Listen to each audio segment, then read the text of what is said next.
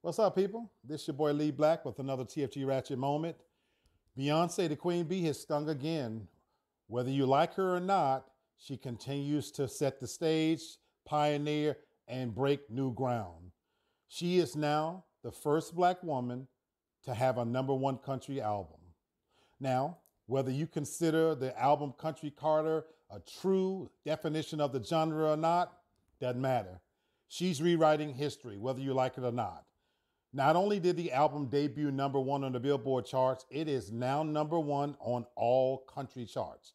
Folks, this is the first time this has been done in the country music history, 60 year history. In fact, Beyonce has sold more units than any other album. Not since Taylor Swift's album last July has more units been sold. You can like it, dislike it, hate it, call it true country, whatever you want to call it. The lady is breaking records. Her and Jay Z are marketing geniuses, and she's beating these motherfuckers at their own game. And I, for one, am very impressed. For the record, I am not a Queen Bee fan, so to speak. I love Beyonce as an artist. I think the mark she's left on music can't be denied, but I don't consider her in my personal opinion, a generational artist in the sense that she can sing. Now, as a performer, there's not too many out there like her. I think she's one of the hardest in the game.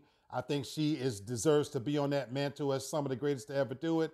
But she just doesn't make music for me. I'm old school R&B. Having said that, I am not going to take away from this woman's accolades. If we can sit here and hail Caitlin Clark as the GOAT to ever play women's basketball, then damn it, we can tell you that Beyonce is one bad bitch and there ain't too many of them out there like her. She is setting the pace and opening the doors and kicking them bitches down like nobody's business. Whether you like it or not, she is creating her own lane and opening that bitch up so wide that if any other artist, black, white, or otherwise, have thought about crossing over into country, she is single handedly redefining a genre, whether we like it or not. Once again, her and Jay Z are marketing geniuses. They are on a mission to change history. She's on a mission to hit that billionaire status. And I'll be damned if by the end of this year, not only will she hit it, she is going to supersede all female artists when it comes to net worth by the time this year is over. Yes, I said it.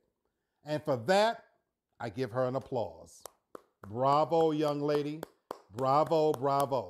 So, again, at the heart of many things, I call it as I see it, there is always going to be a racial component. I personally don't like the album. I personally don't like the music, but she being who she is, she has created a fan base that comes out strong, supports what she does, and in the meantime, she's racking up awards, racking up achievements that you simply cannot deny. With that said, Queen Bee, keep singing them holes. I'm your boy Lee Black. Keep checking in.